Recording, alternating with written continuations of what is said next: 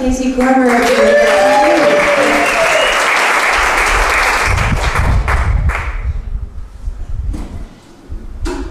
Well, we've had an absolutely fantastic day. Thank you guys so much for coming out tonight.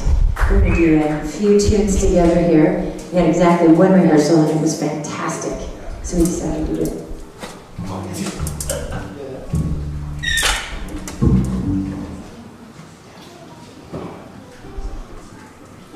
So how are you guys? Anybody have any news, anything you want to share with the group? I feel like we're all friends here.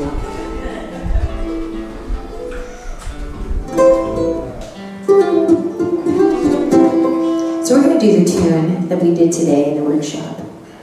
You truly remember that tune. We did it like 400 times. little tune called Exactly Like You. It's from the 30s. You know, when we started this project, it was really because of the love of uh, this kind of pocket of tunes from the Great American Songbook uh, from the late 20s and, and the 30s. And uh, we come by that honestly because we come from Kansas City, Missouri, where um, a lot of this like hard, hard driving, hard swinging, improvisational swing style uh, really um, got honed by some of the great players there. So as we've just uh, moved this project along and started writing our own material inspired by these great songwriters, uh, we, we surely have not forgotten some of the great songwriters. And this is one by Jimmy McHugh and Dorothy uh, Fields. And what was it? I'm trying to think. Uh, Sunny Side of the Street was another one by then. You probably remember that one.